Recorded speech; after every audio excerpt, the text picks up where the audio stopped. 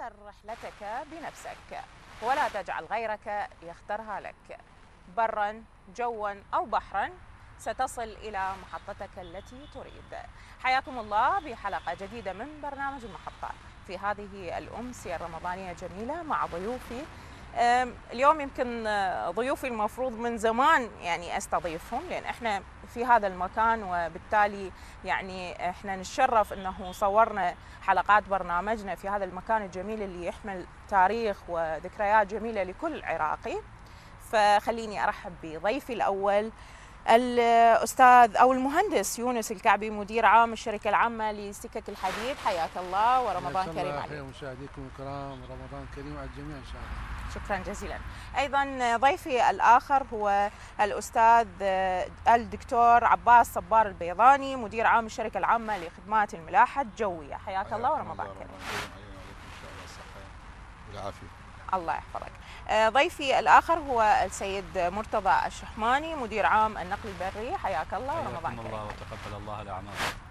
أم، أستاذ يونس نبدي من عندك لأنه باليمين. وباعتبارنا في هذا المكان. طبعا آه، جديات أي ضيف لازم أحمل لك هذه يعني الأمانة. أي ضيف نستضيفه في هذا البرنامج آه، يعني ياخذ له صفنة بال- بالمكان يقول جبتوني إلى هذا المكان.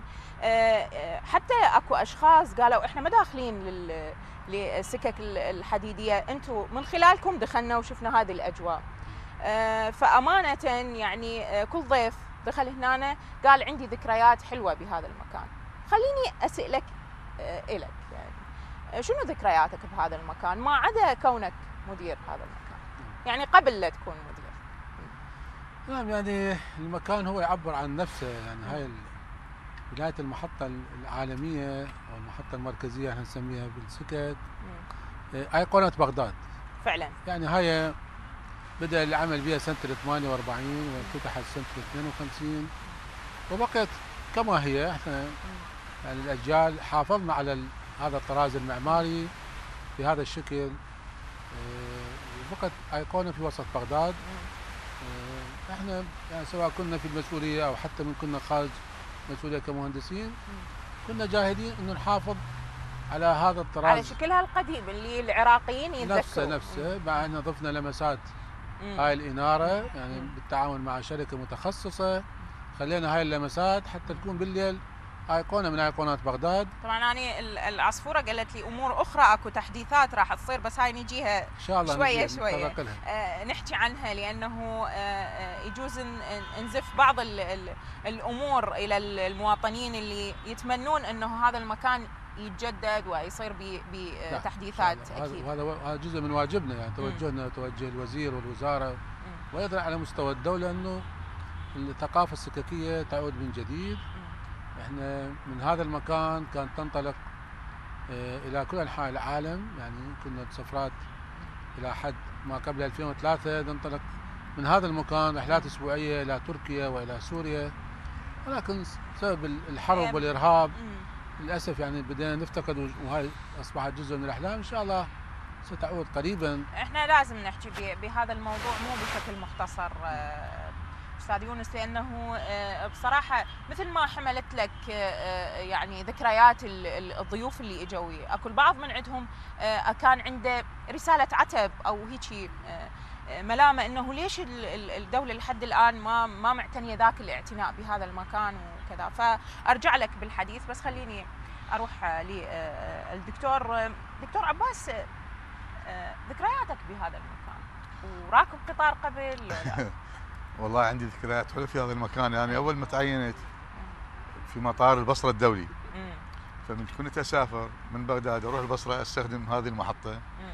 ومنها قطار إلى إلى البصرة يعني. فعندي ذكريات حلوة. قاعد بهذه المحطة أنتظر القطار. أو من أرجع من هي البصره لمعت عينك. آه، مرات الإنسان من يتذكر ذكريات إيه. حلوة. يعني وكان هيك. أول تعييني بالمناسبة يعني أها. اول ما تعييني كان هو في مطار البصرة. فكنت أستخدم هذه المحطة للانتقال من بغداد للبصرة. أكو موقف تتذكره هيك؟ يعني مثلا فاتك القطار أو شيء والله. أكو. أكو موقف أكو زين. حلو يعني. توقف بمحطة آه، آه، بالناصر شد المحطه بالناصر. السماوة. لا بالناصرية سوق الشيوخ. سوق الشيوخ. سوق الشيوخ.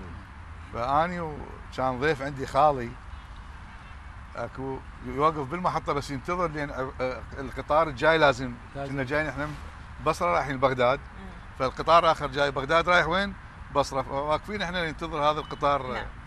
يعبر. فأكو مطعم صغير قلنا خلينا ننزل ناكل بيه. إحنا ننزل ناكل بيه وهذا بالقطار تحرك. ما قطارنا عليه. لا لحقنا عليه ركض. آه. وصلنا بالاخير آخر مقطوره ورجعنا. إلها إلها جماليتها ال- إيه. ترى السفرة بال- بالقطار.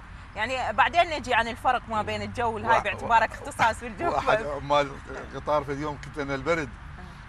تو- تورطنا قلنا له شغله تبريد كان قبل التبريد زين يعني. ولا زال. والله شغل النوب والطاقة- تعال طفي تعال طفي النوب ما يرضى ما ما- إي نشتغل عندكم كل ساعة. زين. أه، أستاذ مرتضى أه، ذكرياتك عن هذا المكان. بسم الله الرحمن الرحيم. بداية الشكر والاحترام والتقدير لقناة الأيام جنابك الكريم. شكرا. تقبل الله الأعمال شهر رمضان. وقد تصرمت أيام ولم يبقى إلا القليل. أسأل الله أكيد. وإن شاء الله شهر خير لهذا البلد المعطاء إن شاء وهو الله. بلدنا الكبير العراق. إن شاء الله. السكك وهكذا يقال أن الدولة في كل دول العالم إذا أردنا أن نضع مقياس لتطورها ننظر بداية إلى وسائل النقل. فعلا. وتطور وسائل النقل هي دلالة واضحة على تطور البلد. البلاد. مم. السكك. أنا من مواليد محافظة البصرة. ومحافظة البصرة مقترنة بشيئين. فضلا عن النفط. وهي عملية واسعة ومينائية كبيرة هي شركة المواني.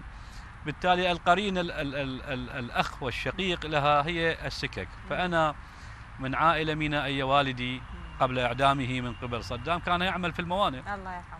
ولي أخوتي الآن هم في الموانئ وأنا مم. كذلك كنت في الموانئ. ولي آه، أعمام اثنين وابنائهم يعملون في السكك فصرنا إحنا عائلة مينائية سككيه عائلة نقلية. نقلية. بشكل عام أحسنتي. عائلة عام. نقلية. فبالتالي ال- السكك كنا نأتي إلى بغداد. لحضور اجتماعات مثلا أو لقضاء آه، حاجة في بغداد. كنا نذهب إلى أن نحجز في السكك باعتبار أمرين أن ال- أن المسؤول على الحجز هو ابن عمي فسريع الحجز. إيه. والأمر الثاني هو الراحة والأمان والإستقرار. قلت للعائلة الراحة، مع نعم. إنه المأخوذ عن السكك هي ماكو راحة يعني حقيقة كنا آه، عند انتقالنا من محافظة البصرة إلى بغداد كنا آه، نذهب ليلا باعتبار أن الأجواء القطار. يكون من الساعة السادسة. آه، مساء حتى الفجر فبالتالي نقضي حوائجنا في نفس اليوم وربما تكتمل المعاملة نرجع في نفس اليوم أو لا فالسكك كان البديل الأمثل للخطوط الجوية. باعتبار أن الخطوط الجوية لم يكن هنالك اتجاه نحو الذهاب وحتى إلى المناظر اللي تشوفها أحسنت. أثناء ال ال يعني. سير ال ال القطار وكذا يعني أنا جدا يعني من أحكي حزين على هذا الموضوع لأن الذكريات اللي أستلهمها من الضيوف اللي عندي هذا اللي يقول أني دراستي قضيتها من خلال ال- السكك مثلا يروح للموصل مثلا آه، شخص اللي يقول البصره كذا فإحنا ننقهر إنه حاليا مو ذاك الاهتمام بالسكك آه، أستاذ يونس آه، سمعنا هواية على إنه أكو تطور بالسكك الحديد. وأكو آه، بعض الشركات وأكو آه، من الدولة عود اهتمام وكذا. لكن ما شفنا على أرض الواقع. حتى آه، مسألة ال- المترو ترى صارت قديمة بالبلدان البقية. ليش إحنا لحد الآن ما صاير عندنا؟ مع إنه إحنا المفروض مؤهلين لهذا الشيء. باعتبارنا عندنا زخم مروري عندنا زخم سيارات والنفوس البشرية اللي صارت عندنا زادت.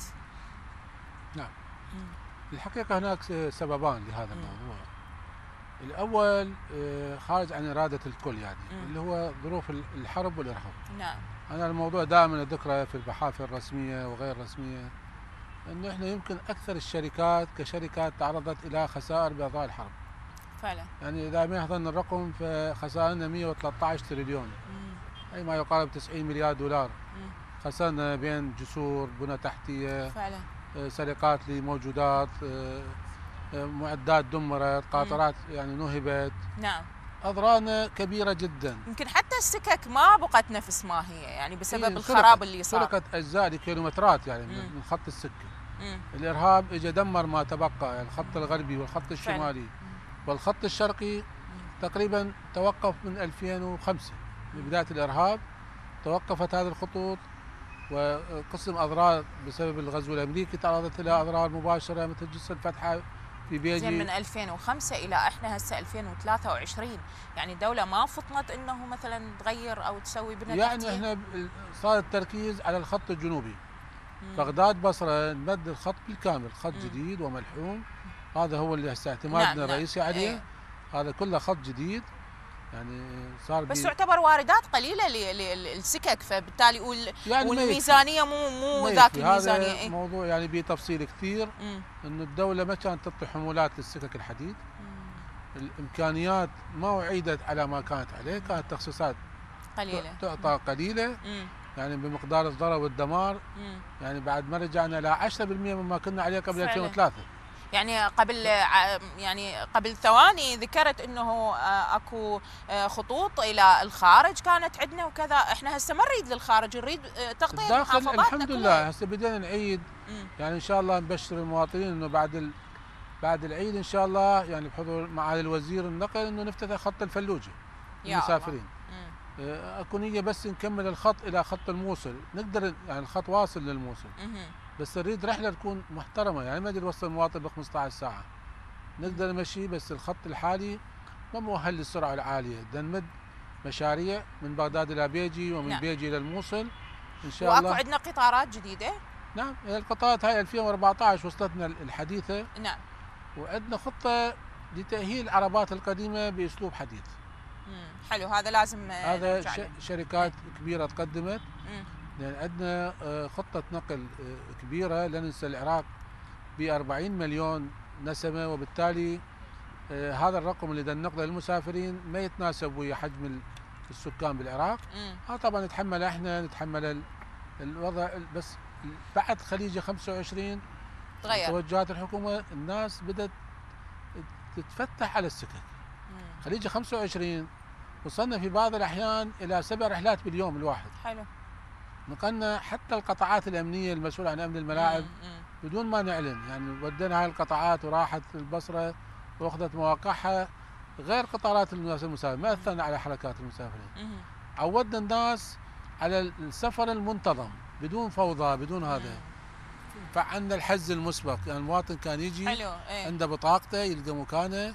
فيعرف يروح يحضر المباراة وش وقت يرجع فبدأت العالم تتعلم ثقافة ال- النقل السككي إن شاء الله ناهيك عن إنه موضوع آخر إنه إحنا بدنا نراقب الجمهور اللي يسافر بالقطار. قبل أكو جمهور محدود يعني محدد هو متعلم يسافر بالقطار. الآن بدأت تجي فئات جديدة. يسمع لأول مرة بالقطار ويريد ويريد يسافر. يعني اضربك إنه أكو عوائل من كردستان جاية خصيصا حتى تسافر بالقطار. حتى تشوف شنو ال- الأجواء. حتى تشوف الأجواء تسمع مم. بالبصرة تسمع مم. بال- بالمحافظات تسمع بال... هذا نتكلم به أكثر آه، أستاذ يونس بس خليني آه، أرجع للدكتور. آه، اليوم أكو خلط ما بين يعني معنى الملاحة ال- ال- الجوية. خليني أفهم من عندك معناها وشنو ال- العمل اللي تقوم به ال- الملاحة الجوية؟ نعم. الطيران المدني يعني بصورة عامة يشمل ثلاث مرافق تقريبا. نعم. الأساس هو شيء اسمه سلطة الطيران المدني. اللي هي السلطة المسؤولة على أن تضع القوانين والتعليمات للي راح ينفذون ويقومون بأعمال الطيران المدني.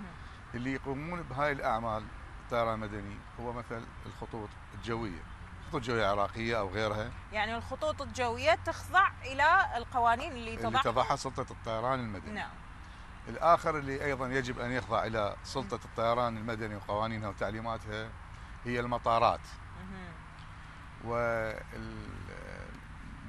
ومنفذ الخدمة الآخر اللي هو الملاحة الجوية.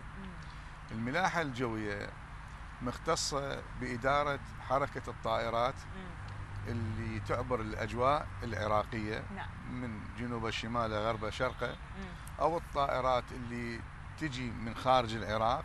تدخل اجواءه وراح تهبط بأحد مطاراته. أو الطائرات اللي تقلع من مطاراته وتطير باجواءه إلى أن توصل للأجواء المجاورة. باعتبار عملية تنظيم يعني آه، لا سيطرة سيطرة مم. على هذه.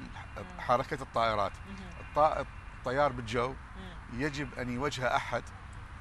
على يعني مود هذه اللي نشوفها في بعض الأحيان بالمسلسلات وكذا اللي يعطوهم تعليمات إنه مثلا آه، أكو طيارة راح آه، آه، تقلع بكذا وقت وطيارة راح تهبط بكذا وقت هذه ال- ال- ال- ال- الغرفة غرفة التحكم هي هي الغرفه شبيهة آه، الغرفة اللي أنا أقصد بها هي السيطرة على حركة الطائرات شلون يعني؟ مم. إحنا نحتاج الطيار مم. بالجو يحتاج من يوجهه. من يرتفع من ارتفاع معين يصعد إلى ارتفاع آخر أو بالعكس من إذا يريد يأخذ اتجاه يمين أو يأخذ اتجاه. يسار يجب أن أفصل كملاحة جوية أكو آه، جهة يسموهم المراقبين الجويين. air traffic controllers هذول هم المسؤولين على فصل الطائرات فيما بينها. يعني هذه الطائرات من تطير أكو هناك رادار يكت... يعني المراقب الجوي إيه. القاعد يشوف الطائرات عن طريق هذا الرادار مم. ويحاول أن يوجه هذه الطائرات نعم بصورة صحيحة بحيث يجب أن يتو- يتوفر الفصل الملائم والمناسب بين كل هذه الطائرات من أجل أن يحصل على السلامة وأيضا بنفس الوقت يحاول أن يسرع من عمل وصول هذه الطائرات. زين هساني شاب ودا أسمع ودا أسمع حديثك وحبيت هذا الموضوع شنو لازم يتخرج من شنو هل عندنا معاهد كليات تخرج هيك أشخاص مختصين بهذا الموضوع هو المراقب الجوي مم. آه، مو آه، تخصص أكاديمي مم. هو فد شي professional تخصص حرفي يعني يعني آه، يتدرج مثل ما يقول يتدرج إيه. هناك دورات خاصة مم. إحنا نخلي مثلا تعليمات معينة regulations معينة نطلب بها غالبا ما أن يكون خريج البكالوريوس. للقضايا العلمية. يعني علوم فيزياء هندسة اتصالات. آه، علوم رياضيات. هاي التخصصات نجيبها أكو هناك اختبارات. أول. تدريبات أول مرة الاختبارات وأهم اختبار. هو الاختبار الفحص الطبي. لازم يكون نفس اختبار الفحص الطبي اللي يسوي الطيار نعم نعم يجب أن يقوم به المراقب الجوي. بعد ما لأن أي خطأ يقوم به هو راح يأثر على ال... مو هي المشكلة خطأ المراقب الجوي ما يأثر بس على طيارة واحدة راح يأثر على على آه. الأقل طيارتين يعني إيه. مع بعض مم. اي ف بروسس معين يعني عملية معينة تبدأ من الفحص الطبي بعدين دورات تخصصية. على الأقل تقريبا من سنة ونص إلى سنتين بهاي الدورات. يلا يصبح مؤهل أن يروح يعمل بالموقع الحقيقي اللي هو في آه، كمراقب برج أو مراقب رادار بس حتى من يوصل للموقع الحقيقي. ما راح يكون مؤهل إلا بعد عدد ساعات معينة نعم تحت إشراف مدرب مختصين مختص. مم. ويسوي له امتحانات أيضا. آه، معينة من يعبر هذه عدد الساعات. ونوعية الامتحانات بذاك الوقت ممكن أن يتأهل أن يصبح مراقب جوي مؤهل أن يتعامل مع الطائرات بدون الحاجة إلى أي مساعدة. أنا راح أرجع لك بسؤال يمكن ينطرح آه، إحنا كمواطنين بس خليني آه، أروح للأستاذ مرتضى آه، مفهوم النقل البري البعض يفهم أنه ال- ال- السيارات ال- ال- الكوسترات أو الكيات اللي موجودة والسيارات الشاحنات وما إلى ذلك خلينا يعني ننطي مفهومه النقل البري بشكل عام أستاذ الكريم. يقسم إلى عدة مستويات، المستوى الأول وهو النقل البري السكك. نعم. نقل المسافرين والبضائع عبر السكك. هذا نعم. واحد. اثنين لا هنالك شركة خاصة الشركة العامة لنقل المسافرين والوفود. اختصاصها هو لنقل المسافرين نعم. حصرا. سواء العجلات الصغيرة أو الباصات الكبيرة. نعم. وهنالك شركة أخرى هي عملية تنظيمية لإدارة المرائب الجراجات وهي الشركة العامة للنقل الخاص. أما فيما يختص بسؤالك الشركة العامة للنقل البري وهي إحدى تشكيلات وزارة النقل تشكيلات الأصيلة. واللي تأسست عام 1970 ولها قانون خاص قانون رقم 80 لقانون النقل لعام 1983 وتعليماته لعام 84 نعم. ومعتمدة على قانون الشركات رقم 22 لعام 97 وبنظامها الداخلي عملية ال- ال- ال- الاختصاص في هذه الشركة الكبيرة وهي آه، في جنبتين. الجنبة الأولى ال- القضية التشغيلية الأساسية وهي أن يقوم آه، آه، حسب قانون 80 المشرف والمنظم نعم. لعملية النقل في العراق. بشكل عام سواء النقل العام أو النقل الخاص. نعم. يعني كل ال- الشاحنات الموجودة في داخل آه، العراق عملية تنظيمية والإشرافية هي التي خولها القانون رقم 80 هي من اختصاص حصري للناقل الوطني وهو الشركة العامة للنقل البري. من هذا- خلالكم فقط. نعم. مم. هذا القانون هكذا يقول إلا أنه فعلا الآن في التطبيق يختلف عن النظرية. وإحنا لازم نحكي عنها هنالك عدة معوقات مم. يحتاج إلى الكلام الكثير. آه إن شاء الله إحنا كتبنا إلى المختصين في مكتب دولة رئيس الوزراء في البرلمان نعم. في اللجان الرقابية على أنه هنالك آه، آه، تعثر في تطبيق القانون قانون النقل رقم 80 من اللي يعثر الشركات لو جهات هي شوفي هو عدة اشتراكات. مرة تأتي ال- ال- القطاع الخاص مم. يتطفل على القطاع القطاع العام. العام مرة لا فعلا وهذا يأثر على واردات البلد نعم هو هو فعلا أنا أنا جاي. أتسلسل بالأرقام. مم. والمعوقات لا مو إحنا بعدين وكذلك المعوقات. الحلول أنا مم. اليوم جاي في package واحد لإرسال رسالة ما هو دور الناقل الوطني مم. والنقل البري العراقي النقل البري العراقي ناقل عريق كان يخرج إلى جميع الدول المجاورة اليوم فعلا عندي بس تحكمه قوانين يعني نعم. ما من الممكن إنه قانون النقل واضح جدا وهو آه. قانون رقم 80 مم. واضح جدا يعني بالتالي مكنا إحنا كشركة في نعم. عملية الإشراف. والتنظيم والعمل في ممارسة نشاطنا في القطاع الخاص تنظيم وفي القطاع العام لا ممارسة نشاطنا وهو النقل ما بين البضاعات والوزارات نعم لدينا عقود مع وزارة التجارة وزارة الصناعة والزراعة والكهرباء مم. ووزارات أخرى والمفوضية العليا نعم. للانتخابات. وكان لنا في مع وزارة النفط وشركة سومو هذه ال- ال- النقل هو من اختصاص عملنا. ثم المستوى الثاني وهو الأمور التنظيمية. اليوم الذي يصدر بطاقة ال- ال- ال- المفردات البضاعة أو ورقة البضاعة المنافس. هو اختصاص الشركة العامة للنقل البري ولدينا مكاتب حدودية في جميع المكاتب الحدودية العراقية بالاشتراك مع الدوائر العاملة في المنافذ الحدودية والعملية هي ساريه يعني بدون معوق هذا هذا له سؤال خاص لأنه أريد أعرف يعني هسه اللي موجود كلهم آه، قابل تابعين فقط؟ لكم أكيد أكو آه، خارجيين وأكو آه، على قولتك ال- الخاص دا يلعب دور وهو بالتالي دا يأثر على بلد بأكمله، هذا نرجع له ال- الحديث يعني خلال سياق البرنامج إن شاء الله. بس خليني وياكم اخذ فاصل. مشاهدينا آه، خلينا نروح وياكم إلى فاصل ونواصل.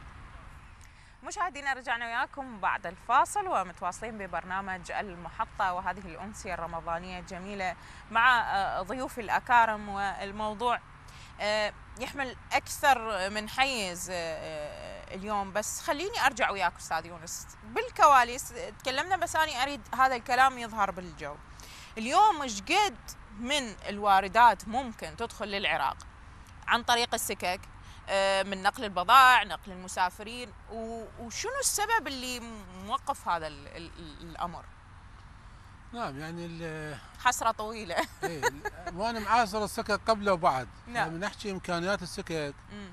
السكك هي بالعالم كله نقل استراتيجي. نقل استراتيجي نقول هي للحمولات العالية. نعم. سواء للمسافرين أو للبضائع نعم. يعني اليوم هذا المشروع الجديد اللي دا يدعم رئيس الوزراء مباشرة وبإشراف مباشر من وزير النقل اللي ماخذ كل وقتنا حتى بعد منتصف الليل مرات تتصل على بعض التفاصيل هذا المشروع يهم العراق كله مشروع طريق نعم. التنمية أو ما كان يسمى إيش قد ممكن يجيب واردات الجافة. البلد هذا يعني بال phase الأول اللي هو 2028 طبعا بالتزامن مع اكتمال ميناء الفاو. ميناء الفاو يكتمل 25 2028 يبدي الإنتاج الفعلي فبالقليل مليارين سنويا من ال- من البضائع. وما يقل ما لا يقل عن 700 إلى 800 حتى يصير أكو انفتاح عندنا إلى بالبلد 750 مليون دولار بالنسبة لقطاع المسافرين. هذا طبعا رقم ممكن يصعد مع زيادة أكيد الحمولات إيه. هذا نحكي على ال- ال phase الأول ال phase الثاني راح تتضاعف هاي الأرقام مم. فممكن هذا يكون المشروع الوارد الثاني للعراق بعد النفط. خصوصا إنه هذا قلت حكاية إنه آه، قلت إنه ممكن آه، النفط يصير آه، يعني لا شيء بالنسبة للسكك الحديد والخطوط لا لا مو لا شيء بس ال- العراق بعد ما المفروض يعتمد على النفط لاحظنا فعلا. تجربة 2014 مم. كانت قاسية جدا على الشعب العراقي بحيث وصلت الدولة ممكن ما تدفع رواتب للموظف مم. آه، قطاع النقل بالعالم ما ممكن يوقف فقط جائحة كورونا وقفت النقل بالعالم مم. النقل آه، قطاع مربح جدا يعني يمكن اللي يشتغل بالقطاع الخاص. كل اللي يعمل بقطاع النقل رابح إلا القطاع الحكومي للأسف هاي التعثرات لأن الناقل مجرد إنه يوصل البضاعة من. المصدر إلى ال- إلى المستهلك النهائي. يقبض الأجور بغض. النظر عن لأنه هو مو صاحب رأس مال هو. ناقل. فالناقل يعني ماخذ أرباحه ومخلص فالنقل مربح بالعالم كله إيرادات أكو النقل. جد... شيء جديد على أرض الواقع يعني تتأمل أكو شيء جديد نعم أشياء جديدة. اليوم عندنا أكبر مشروع راح يقوم به العراق ويجي أهمية حتى أكثر من ميناء الفاو. وهو المكمل لميناء الفاو الكبير اللي هو مشروع طريق التنمية والقناة الجافة. راح نربط ميناء الفاو بتركيا بأوروبا بمسار 1200 كيلومتر. خط سكة جديد. مزدوج وبالكهرباء يعمل. وبسرعة أكو عاليه يعني بناء حاليا دا يصير دا يتم الآن في الخطط. التصاميم نعم آه. نعم. دولة رئيس الوزراء بنفسه مشرف على هذا الموضوع. ومتابعة يوميه لا يوميه بل يا بالساعات الله. من من مع من معالي وزير النقل على هذا الموضوع. يعني الشركة الإيطالية والمستشارين رئيس الوزراء متابعين ليس بشكل يومي وإنما بالساعات. أحيانا إحنا موقعنا موقعنا يعني نعم، هذا العالم الموضوع تدور موقع. موقع استراتيجي. الحلو بهذا الموضوع إن دولة رئيس الوزراء والوزير والمستشارين أدركوا أهمية هذا المشروع ليس فقط لقطاع النقل العراق وإنما للعراق ككل. نعم اولا راح يخدم 12 محافظة بالعراق. راح يدخل تقنيات لأول مرة بالعراق العالم تسمع إن العالم عنده قطارات كهرباء راح تكون عندنا قطارات كهرباء مم. 300 كيلومتر بالساعة لقطارات المسافرين 140 كيلومتر للبضائع حلو هذا الشيء معدل سبع دقائق كل قطار كل قطار كل سبع دقائق قطار إيش قد ممكن آه، آه، آه، البعض- مينيمم وقت ويكون هذا المشروع على أرض الواقع من لا وجهه ب نظرك 23 راح نبدي مم. نعم نحن بادين هسه بالتصاميم يعني آه، خطتكم تقريبا ل 28 هو مكتمل هذا؟ المفروض ويا اكتمال ميناء الفاو. القناة ال- طريق التنمية مكتملة سكة وطريق سريع. بالمناسبة القناة عبارة عن شقين الميزانية ما راح تأثر على الموضوع ال- هذا الم- المشروع قائم هذا تبناه دولة رئيس الوزراء إنه مم. بتمويل هذا المشروع مم. إلى نهايته تتولى رئاسة الوزراء يا رب يجدون. هذا مشروع الحلم هذا ما يخص لا وزارة النقل ولا السكك الحديد هذا لل- للبلد هذا يخص. البلد إي فعلا وما ما معنيه بمحافظه معينة نعم. حيمتد من من الفاو يعني من ميناء الفاو صعودا إلى كل المحافظات انتهاء بفيش قابور على الحدود التركية مم. فكل المحافظات والمدن راح يمر بها هذا الطريق حيخدم هاي المناطق. قد حلو من أني مسافرة وأريد أشوف العراق من خلال القطار. تصير فشي يعني. نعم نعم. اي فعلا. حق العراق. البعض يقول إنه هذا حلم يعني أنتم رايحين إلى إلى آفاق بعيدة عن الواقع. نعم هذا حلمنا العراقي ومن حقنا إنه ندافع عنه. بعدين إحنا نحكي ما بدنا نحكي اليوم. بدنا نحكي على 2000 على 2028 مدى خطط. العراق غير شكل المواطن العراقي غير إن شكل شاء الله يا رب. نأمل, إن نأمل الله. هذا الشيء آه، أستاذ يونس خليني أرجع لك آه، دكتور آه، بالكواليس آه، تداخلنا ويا الأستاذ يونس وصار حديث مشترك لكن آه، مرات ال- المواطنين يعني هو يعرف إنه الطيارة تأخرت أو الطيارة جت بوقتها أو كذا هل إلى دور آه، آه، الملاحة بتأخر الطائرات أو آه، إنه ما توصل بوقت بوقتها ال- ال- المحدد؟ المناحة الجوية من أحد وأهم أهدافها. هو الإسراع بالحركة الجوية. هذا هدف. من أهدافها يعني. نعم. السلامة زائد الإسراع. نعم. فتصير هذه الحالات بس مو شرط أنه الحركة سببها الملاحة. يعني أسباب التأخير مثلا بعض الأحيان أكو مطارات هي تكون busy مشغولة. فالطيار ممكن يوصل هذه العاصمة اللي بها المطار الفلاني. بسبب هذا المطار busy عنده departure يعني مغادرات. عدد كبير نعم عنده واصلات عدد كبير مم. نضطر ان يسوي holding الانتظار في نقطة معينة مم. إلى أن يوصل سراه مم. ونفس الكلام اللي يريد يغادر نوات تشوفين أكو صاير sequence هو رقم خمسة رقم نعم نعم ستة فيتأخر مم. آه وأيضا أحد الأسباب اللي ممكن تأثر على السرعة اللي مثلا هسه إحنا عندنا بالعراق واللي ال vision مالتنا حنحاول نتخلص منها نهاية ال 24 أكو بالطيران عندنا شيء اسمه ارناف هذا الارناف معناته إنه أني شلون راح أسوي الفصل العرضي بين الطائرات مم. فإحنا مثلا الآن بدنا نشتغل على ارناف 1 مم. آه العفو ارناف 5 ف يعني المسافة بين المسافة الأفقية بين الطائرات مم. يكون حقيقة بالضبط ما أعرف بالضبط إيش قد بس نعم. أكثر من يمكن 12 ميل مم. إذا احولها إلى RNAV 1 أقدر أسوي خطين متقاربه يجوز يصير المسافة بين- بيناتهم 5 ميل بسيطة فمن إيه. يصير المسافة بيناتهم 5 ميل معناته أنا أقدر أسوي أكثر من خط بالتوازي معها هذا هاي شنو خطة آه، جديدة قدمتوها هذه ال vision؟ مالتنا يجب أن نوصلها 2024 لتنفيذ هذه الخطة يحتاج بنى تحتية إحنا الآن عاملين عليها. البنى التحتية اللي نتاجها هي الرادارات. ال- المحطات ال- الصوتية محطات الاتصال واكو أجهزة للمسافة. زائد الأجهزة ال- ال- ال- أو النظام هذه الساتلايتس تمويلها. منين يجي؟ من خلال وزارة النقل لو يكون تمويلها خاص. الشركة العامة لخدمات الملاحه الجوية تمويلها ذاتي. مم. إحنا كل طائرة تعبر أجوانا. ناخذ عليها أجور.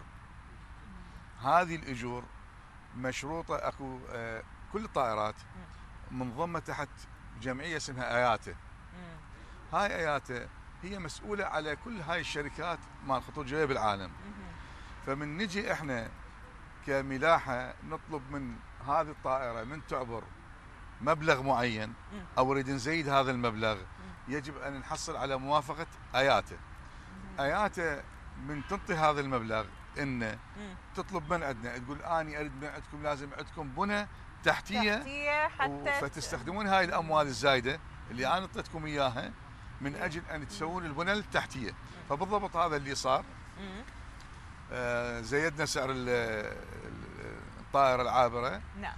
أجورها من أجل أن نكمل ال- البنى التحتية اللي تخص أجوانا. تأثرت. حالها حال هوايه وكثير أمور بالعراق تأثرت. فيعني تقريبا آه، آه، آه، 2024 أكو شيء ممكن على أرض 2024 إن؟ شاء الله نوصل إلى مثل ما قلت اللي إحنا نسميه ارناف 1 مم. بذاك الوقت أنا أقدر اسس أصمم أكثر من خط جوي هذا شنو يأثر علي كمواطن أنا إذا أريد أسافر ممكن ك- يأثر علي بشنو ك ك كمواطن آه، يعني كمواطن بالعراق ما يأثر عليه ما يشوفه مم. يعني هو هذا بالجو ما يحس به حقيقة نعم بس كطائرات تطير مم. بالجو مم. الطيار من يجي أريحية يصير عندي ب- يريد آه. يريد يعبر جاي مثلا من جنوب نعم. شرق آسيا رايح لأوروبا مهم. فالطيار حسب حجم الطائرة. الحمولة اللي بالطائرة.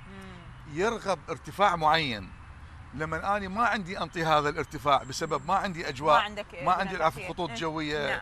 كاملة مم. فاضطر شو أسوي؟ أنطي الارتفاع اللي هو ما يرتاح له مم. هذا الشيء يؤدي يؤدي انه ما راح يستخدم اجوائي راح يروح على ايران راح يروح على غير مكان لأن ما ريحته أني اعطيته اللي يناسبه إحنا نأمل هذا الشيء باعتبار يعني إحنا آه، آه، هذا الشيء همنا يخدم بلدنا آه، أكيد- وبالتالي هو بال- يخدم ملاحتنا أكيد وبالاخير. هو. فد وارد جاي اي للدولة يعني أكيد كل ما يزيد عدد الطائرات مم. هو وارد أكيد راح يجي للدولة إحنا حاليا مثلا مثلا إيش قد تدخل لنا طائرات؟ يعني من- معدل الان. بال 470 طائرة باليوم سابقا أكو فرق يعني يعني كانت شاسع؟ قبل حوالي ثلاث أربع سنوات كانت 240 250 ها يعني اكو أكو. طبعا إي طبعا أكو هاي فرق. إن شاء الله على هذا ال- ال- ال- الموضوع الجديد يكون أكو آه، انفتاح أكثر. آه، خليني آه، أرجع وياك أستاذ مرتضى. حكينا عن معوقات. وحكينا عن الشركات الخاصة وحكينا عن آه، آه، عدم تطبيق القوانين واللي بالتالي ممكن يأثر على عملكم كشركة آه، وطنية وبالتالي يأثر على البلد بأكمله. خلينا نحكي شوية. بالنسبة إلى قضية النقل البري عندنا المعوقات الأساسية الآن مفردتين أساسيتين. أولا هو الذهاب من قبل الوزارات للتعاقد مع القطاع الخاص. هذا اولا. والامانه العامة لمجلس الوزراء في احد أحد كتبها جعلت من الناقل البري والجوي والبحري ناقل وطني ليس لكن ليس بحصري ويذهب إلى التنافس. يعني أكو بحبوحة بالقانون أنا إنه أذهب- يقدر ي... نعم أنا أروح إلى التنافس. قبلت بهذا الموضوع. على أن يكون هنالك الأولوية للقطاع العام العام. الذي يعطي لخزينة الدولة حسب موازنة عام 21 60% 60% من الإيراد الكلي المتأتي لشركاتنا التمويل الذاتي تذهب إلى خزينة شو الدولة عجب لعد الدولة ما ما خلت هذا؟ وأخل أكمل وال 60% منها أرسلت إلى خزينة الدولة. ثم المتبقي لو سألتيني المتبقي 40% أين تذهب؟ أقول تذهب إلى رواتب وأجور موظفين وهم أبناء الدولة. نعم. فبالتالي سيصل المبلغ والنسبة إلى أكثر من 70% من الإيراد المتأتي من شركاتنا التمويل الذاتي إلى خزينة الدولة. هذا واحد. اثنين المعوق الثاني. قلنا أن الشركات تذهب إلى ال- التعاقد نعم. مع القطاع الخاص هذا أولا اثنين جاءت وزارة ال- النقل النفط الموقرة وقامت برفع أسعار الوقود ويعلم الجميع أن النقل البري هي شاحنات والشاحنات تعمل أساسا لتوفر الوقود. بالتالي سعر الوقود للشاحنات المدنية 400 دينار. 400 ألف دينار. لكن لو جئنا إلى الشاحنة الحكومية 750 ألف دينار. نعم. فبالتالي أين تكون المنافسة؟ هل يكون هنالك وجه المنافسة يعني كيف- ليش هذا التفاوت؟ آه، ال- الأخوة في ال- النفط لهم رأيهم. مم. فبالتالي قاموا في آه، هيئة الرأي النفط في الوزير السابق المهندس إحسان آه، وجعل سعر الوقود 750 لجميع القطاعات الحكومية. لكن أساسا الق- القطاعات الحكومية لا تعتمد اعتماد كلي على ال- النقل باعتبار إحنا اختصاصنا النقل فالذي تأثر به. تأثر كامل هو وزارة النقل طبعا السكك والمسافرين نعم. وبالدرجة الأولى الشركة العامة للنقل البري. لو أردنا أن يكون هنالك دعم لشركاتنا أولا هو أن يعاد سعر ال- الوقود إلى ما كان عليه 400 يعني هذه الدعوات اللي هسه نعم. وكتبناها في وكتبناها في كتب رسمية وجهت إلى معالي سيد الوزير. نعم. ومعالي سيد الوزير للإنصاف الأستاذ رزاق بنفسه هو متابع لهذا الموضوع. مع وزارة النفط ومع ربما شيء جديد يعني ممكن؟ إن شاء الله ربما يعرض على آه، إحدى جلسات مجلس الوزراء إن شاء بصراحة. الله. فبالتالي لو أعيد سعر الوقود إلى 400 هذه مفردة تساهم في رفع الإيرادات. اثنين ما الذي سبب زيادة الأسعار؟ مم. في العملية الاقتصادية لكل مشروع لابد أن يكون هنالك دراسة جدوى. وإلا إن لم تتوفر دراسة جدوى فأصبح المشروع عبثي نعم. لذلك كلما نريد أن نذهب إلى شراء وتجديد الأسطول باعتبار أن وزارة التخطيط جاوبتنا عدة كتب قالت أنتم تمويل ذاتي ولا يحق لنا كوزارة تخطيط أن ن- نصرف عليكم تجهيز أين نذهب؟ ذهبنا إلى الموازنة التشغيلية باعتبارنا شركة رابحة. نعم. فسحبنا من باب إحدى الأبواب اسمها باب احتياط التوسعات. نعم. فجئنا بهذه الأموال لأجل شراء شاحنات جديدة لدعم الأسطول. حيوية البري في تواجد أسطول جديد. طبعا إيه. بالتالي قمنا بإعداد دراسة المختصون في الشركة قاموا بإعداد دراسة جدوى، اليوم دراسة جدوى لا تنهض باعتبار أن كلما وضعنا على الطاولة سعر ال- الوقود آه، أصبحت دراسة الجدوى غير مجدية، اذا ارتفاع السعر أدى إلى آه، عزوف الشركات. والوزارات من التعاقد مع وزارة النقل الشركة العامة للنقل البري. أكو سبب لكل هذا يعني تحس أكو أكو نوع من ال... إحنا ما نريد نقول مؤامرة وإنما نوع من ال... ال... ال... ال... ال...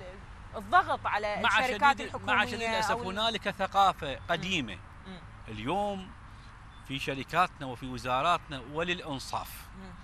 في آه، رئاسة الوزراء الحالية نعم. لاحظنا الجدية والمتابعة بصراحة تامة نعم. الجدية والمتابعة من خلال كثرة الاجتماعات. إحنا يوميا نجتمع اجتماع اجتماعين لأجل إنجاز أعمال. فبالتالي كان هنالك ثقافة قديمة على أنه الناقل الوطني أو الموظف الحكومي أو الشركة الحكومية لا تقوم بإنجاز العمل تماما. أنا أقول وأنا المختص. متكاسلة أو كذا أنا أقول يعني. وأنا المختص وأتحمل ما أقول. أن القطاع العام الحالي في هذه الوزارة وفي الشركة العامة للنقل البري فضلا عن الشركات الشقيقة في وزارة النقل تقوم في أتم وجه والدليل. هنالك اني من 17 نقلنا 49 ألف نقلة. مم. رحنا ل 18 نقلنا 32 هذه ألف كلها نقلة. واردات للبلد. إلى ال 20 99 ألف نقلة. ليش؟ كلما ازدادت العقود كلما ازداد النقل. طبعا هذه النقلات معكوسة على إيراد. مم. فبالتالي إيرادي أنا ل 17 68 ل 19 69 لل 20 وصل بعقدنا مع سومو إلى 77 77 مليار دينار. نعم. وهذا بالتالي يعود 60% إلى الدولة. اذا عودا على بدء يجب أن يكون هنالك دعم للشركات التمويل الذاتي في القطاع النقل. مم. وقطاع النقل دلالة واضحة على ثقافة ونمو الشعب. والحكومة الدولة بلا نقل هي دولة عاجزة. لا وإحنا بحاجة دكتور يمكن ذكر إحنا بحاجة إلى قانون ينظم عملية النقل آه، عندنا بالعراق لأن باعتبار موجود صار- قانون النقل قانون النقل موجود. لا أقصد حتى الشركات الخاصة وغيرها تنفذ هذا القانون مو فقط ما هو هذا يعني- ينظم ال- العام والخاص قانون. النقل. ما يخص القطاع الحكومي القطاع العام والخاص ينفذوه؟ ينفذ المفروض هو الشركات كل من حسب تخصصه يعني آه، إذا إذا ينفذوه فهو بالتالي راح يرجع حيفا يعني واذيته راح تجي على الشركة. للأسف التعليمات مم. ضيعت القوانين القوانين مم. موجودة. مم. قانون النقل لكن موجود التنفيذ ما قانون موجود. الشركات ولكن هاي التعليمات. والتوجيهات والتداخلات هي ضيعت القوانين. القوانين واضحة. يعني بصراحة يعني القطاع الحكومي هو المشرف على وترك القانون هذا خطأ قانوني. وإذا اعتمدنا إذا اعتمدنا على التوجيهات وتركنا القانون سوف يصار إلى أن يغلق الكثير من أبواب الشركات الحكومية. اليوم مثل الشركات ما صار بهوايه شركات اليوم بصراحة تامه واختصارا للموضوع. مم. اليوم الشركة الحكومية العاملة سواء في الموانئ في السكك في البري في الجوية في الملاحة في المسافرين في الخاص في كل قطاعاتنا وتشكيلاتنا في وزارة النقل. نعم. اليوم هي حاضنة لأبناء البلد. اليوم الكثير من هذه الشركات تقوم بإعطاء مرتبات شهرية تنعكس على الأمن الاجتماعي. حقيقة لو كان هنالك آه، شركاتنا غلقت أبوابها. للاحظت المظاهرات؟ موظفيكم؟ أنا بالنسبة إلى موظفينا تقريبا يصل إلى 1700 موظف. طبعا بالمناسبة هنالك معوق آخر غير سعر الوقود وهو أن قامت ال- ال- الدولة والحكومة والبرلمان بسن قانون التقاعد.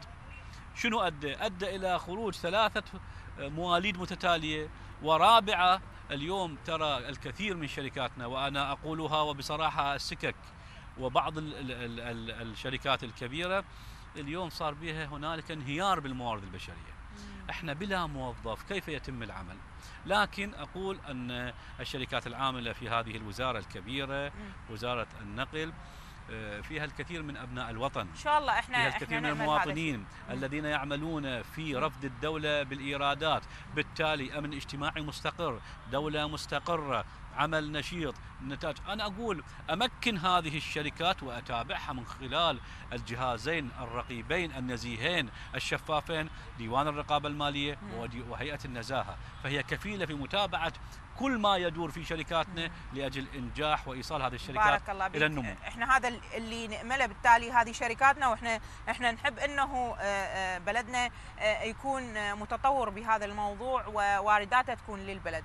خليني أسأل سؤال أخير لأنه ال- المخرج أشار لي إنه عندي آه، دقيقتين. أريد من عندك آه، فد شيء حصري أو بشرى عن آه، موضوع جديد يعني غير إنه السكك الحديد. يعني غير إنه السكه الحديد اللي راح تكون موجوده والله إن شاء الله البشرى لأهل بغداد إنه القطاع المعلق سير النور إن شاء الله في 2023 إن شاء الله. على الموازنة هذا مشروع واعي سيخفف كثير من ازدحامات بغداد.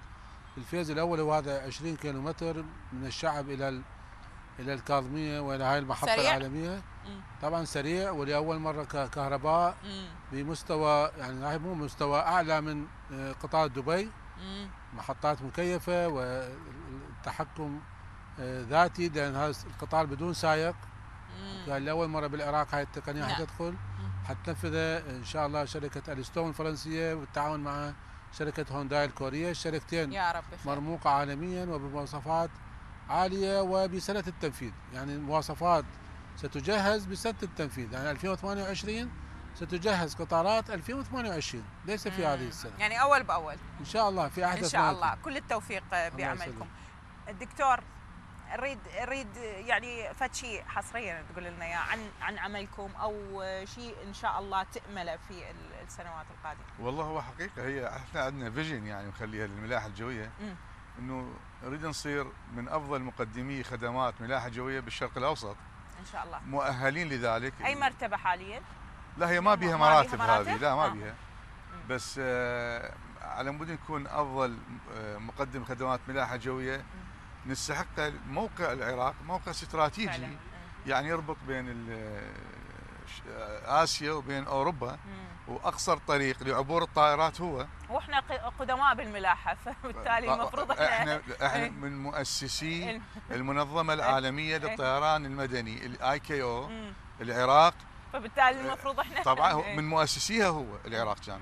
أكيد يعني يا رب نأمل آه، هذا الشيء ونتمنى لكم كل الخير بعملكم. إن شاء الله.